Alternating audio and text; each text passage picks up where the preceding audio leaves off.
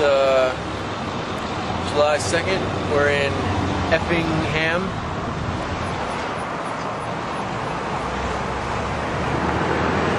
So we've been here.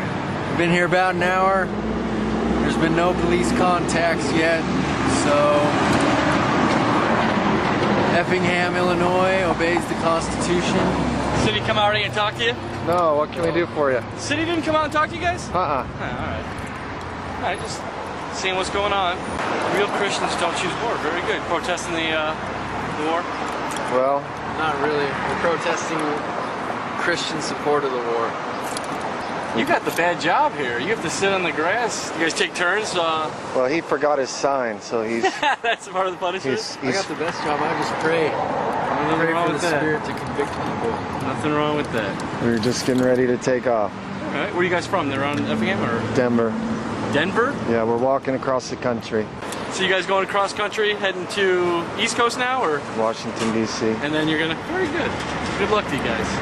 I just heard on the radio something about somebody in an orange jumpsuit. We didn't know we had someone escaped from the, uh, Sure. the sheriff's department.